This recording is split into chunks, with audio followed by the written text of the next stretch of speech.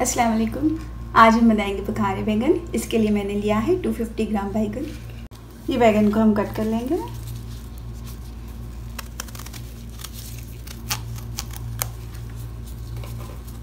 इसको सेंटर से कट कर लेंगे।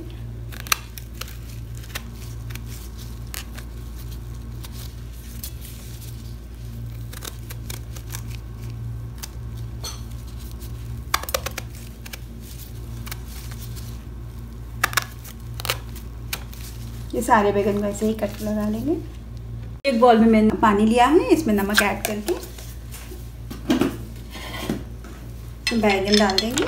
दस मिनट के लिए। इसको मैंने नमक के पानी में डाल दिया है ताकि इसका कसालापन निकल जाए।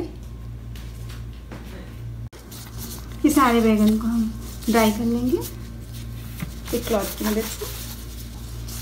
ये ड्राई हो चुके हैं। वन मीडियम साइज़ प्याज टू टेबल स्पून तिल। Two tablespoon coconut powder 50 gram मूंगफली, इन सारों को मैंने रोस्ट कर लिया है। अब इसका पेस्ट बना लेंगे। ये मैंने सारे मसालों का पेस्ट बना लिया है। ये मैंने लिया है 30 ग्राम इमली। इसको मैंने गर्म पानी डाल के भिगो लिया है। ये मैंने हाफ़ कप ऑयल लिया है। इसे गर्म कर लेंगे। ये ऑयल गर्म हो चुका है। इसमें बैगन ऐड कर लेंगे। थोड़ा सा फ्राई करके निकालेंगे एक दो मिनट के लिए।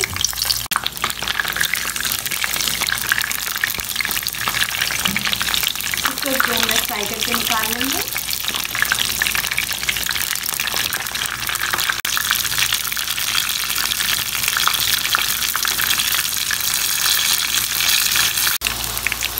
एक दो मिनट फ्राई कर लिया है मैंने, इसको निकाल देंगे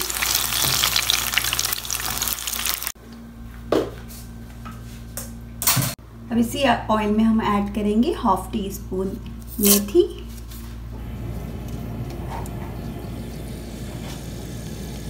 टी स्पून ज़ीरा हाफ़ टी स्पून राई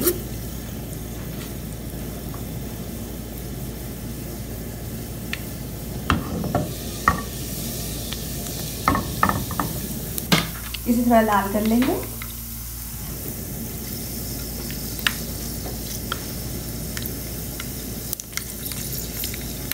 ये लाल हो चुका है, इसमें ऐड करेंगे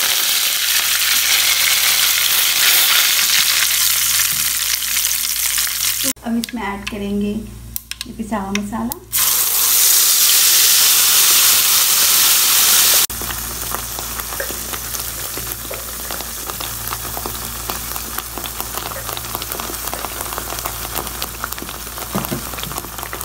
इसमें ऐड करेंगे one teaspoon ginger garlic paste one teaspoon salt one teaspoon full red chilli powder half teaspoon turmeric powder इसे अच्छे से भून लेंगे इसे अच्छे से भून लेंगे फाइव मिनट्स मीडियम फ्लेम पर ताकि इसका ऑयल सेपरेट हो जाए।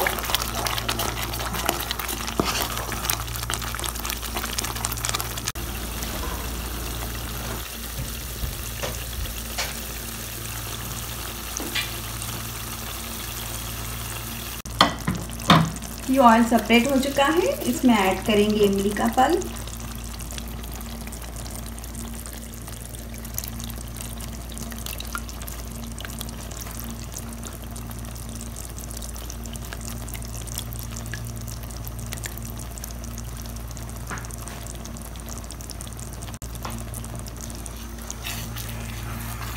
अच्छे से मिक्स कर लेंगे।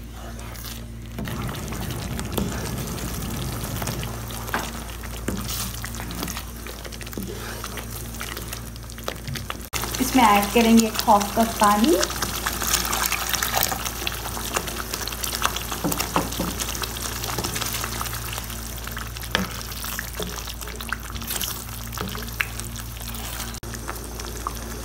अब इसमें सारे बैगन ऐड कर देंगे।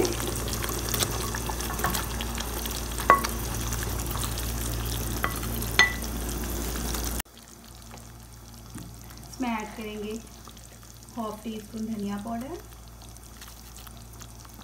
हाफ़ टी स्पून जीरा पाउडर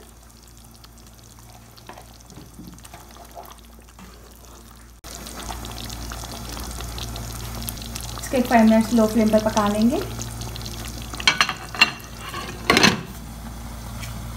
ये फाइव मिनट्स हो चुके हैं ऑयल सेपरेट हो चुका है। इसमें ऐड करेंगे थोड़ी सी कोथमीर वन टेबल स्पून कोथमीर और ये दो हरी मिर्च, ये ऑप्शनल है।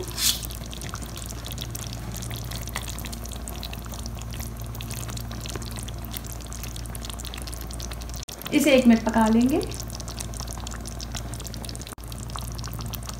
ये वन मिनट हो चुका है।